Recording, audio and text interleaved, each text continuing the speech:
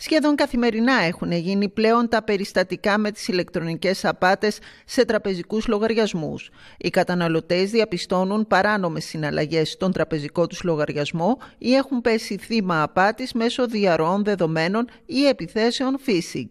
Θύματα μάλιστα έχουν πέσει και αρκετοί Λαρισαίοι. Ιδιαίτερα προσεκτικοί θα πρέπει να είμαστε όλοι μας, λέει ο εκπρόσωπος του ΙΝΚΑ Θεσσαλίας Σωτήρης Τερσόπουλος, αν δεν θέλουμε να δούμε τους λογαριασμούς μας να αδειάζουν μέσα σε λίγα λεπτά.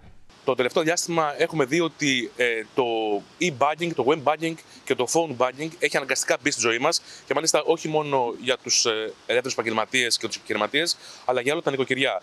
Από τον ε, απλό φοιτητή μέχρι τον συνταξιούχο.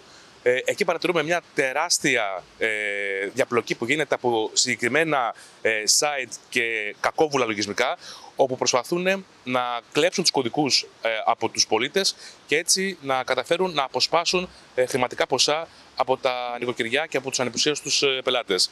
Πρέπει επίσης οι πολίτες να προσέχουν πάρα πολύ όταν τους έρχεται ένα μήνυμα στο κινητό, όταν τους έρχεται ένα email, πρέπει να προσέχουν να μην είναι αυτό ε, από κάποιο άλλο site πέρα από το επίσημο site της τράπεζας. Θα πρέπει να τονιστεί βέβαια ότι πέρα από την προσοχή των απλών πολιτών θα πρέπει σύμφωνα με οργανώσεις προστασίας των καταναλωτών και οι τράπεζες να λάβουν πιο αυστηρά μέτρα στις ηλεκτρονικές συναλλαγές. Οι περισσότεροι καταναλωτές δεν είναι εξοικειωμένοι με τις ηλεκτρονικές συναλλαγές και ως εκ τούτου θα πρέπει η τράπεζα να τους ενημερώνει επαρκώς ώστε να μην εκτίθενται σε κίνδυνο.